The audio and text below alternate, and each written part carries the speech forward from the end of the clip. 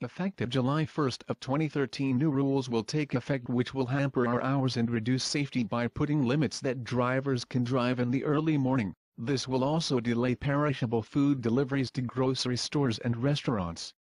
It will make drivers take to the road during the rush hours.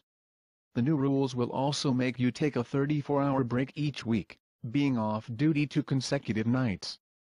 The American Trucking Associations has accused the Federal Motor Carrier Safety Administration of using inflated claims of driver fatigue crash information to get their new regulations through. This will add large costs to trucking companies without any safety benefits and also clog up the already congested roads. The proposal originally asked for two 12 a.m. to 6 a.m. break periods during the restart.